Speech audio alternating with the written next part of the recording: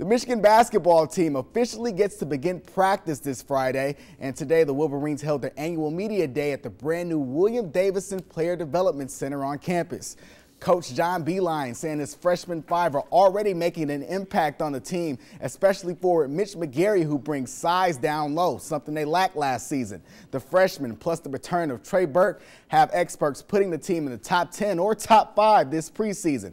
But Beilein says it's nonsense. His squad still has a chip on their shoulder after last season's round of 64 exit in the NCAA tournament. Their main goal, another Big Ten championship.